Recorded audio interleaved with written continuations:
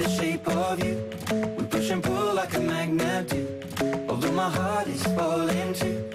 I'm in love with your body.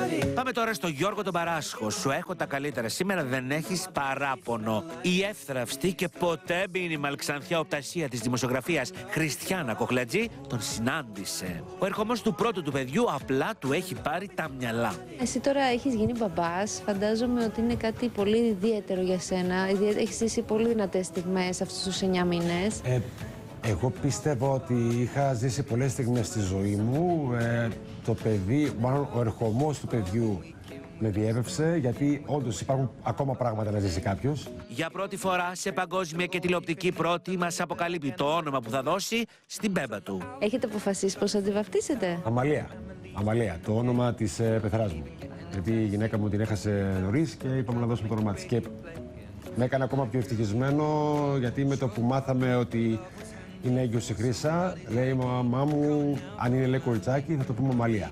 Και χάρηκα ακόμα καλή, περισσότερο γι' αυτό.